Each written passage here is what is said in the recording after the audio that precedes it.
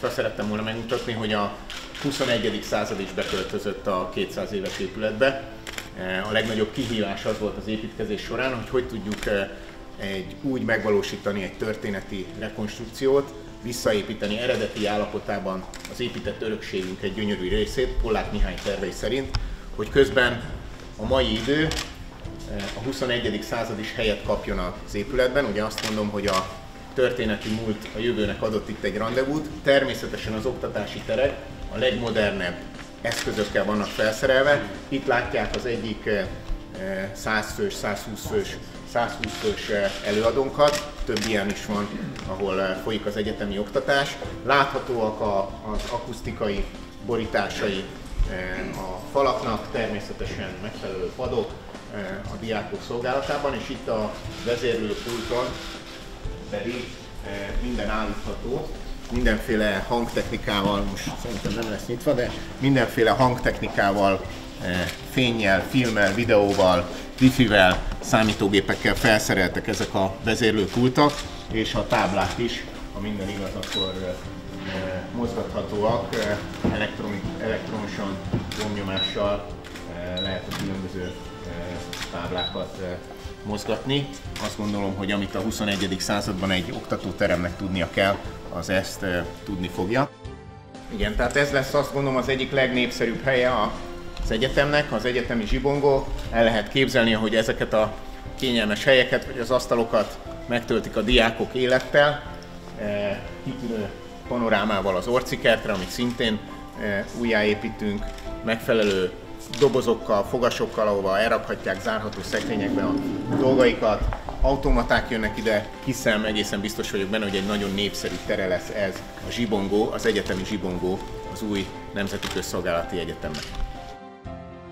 Ha ismerős ez a tér, az azért van, mert a látványtermeken, amit eh, mondjuk fél évvel ezelőtt vagy egy évvel ezelőtt mutattunk, ezt már láthatták, ez most már valóság. Ez az egyetemi könyvtár, Ugye ez egy digitális és papír alapú egyetemi könyvtár, felszerelve mindennel, amire egy egyetemi könyvtárban szükség van. Láthatóak a kijelzők, ha valaki könyvet rendel, ott vannak a hívószámokat, eh, írják, felül is vannak olvasók, ha föl szeretnének menni olvasóhelyiség, nyugodtan tegyék meg. Itt kapják a megrendelt könyveket, azok egy liften érkeznek az alaksorból, ahol egy hatalmas méretű eh, könyvtár van elhelyezve.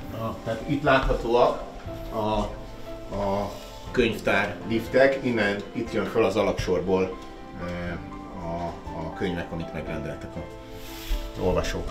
Ez itt az ajos helység, csetelő, eh, folyóiratolvasó. Jó napot! Ez a szabadpolcos rendszer. Ott ki is tud. Bocsánat, kérek, én egy vagyok. Hát akkor az ön, ön területén vagyok. Én, itt mindenhol vannak a csatlakozások, itt vannak a kiállások.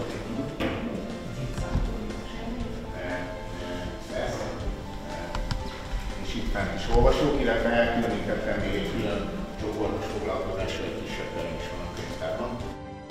Úgynevezett hősök folyosója, ez az, ahol a eredendően is a régi Ludovikán azoknak állítottak emléket, azok, azt azokat az emléktáblákat látjuk, ami a haza szolgálatában, tehát harc közben elesett, szolgálatteljesítés köz, közben életüket vesztett ludovikásoknak állít emléket.